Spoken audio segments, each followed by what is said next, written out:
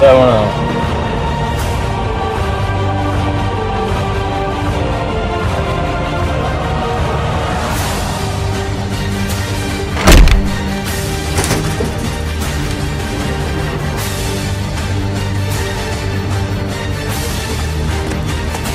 Nemůžeš ovlivnit, co přijde.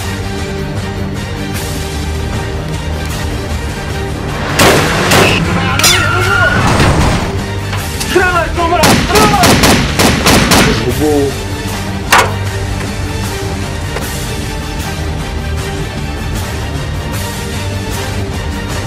Špatnou tu máme.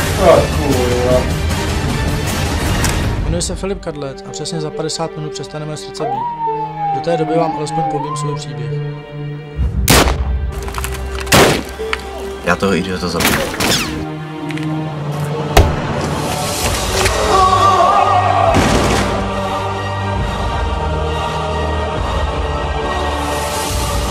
Už to tak vtipný není, co?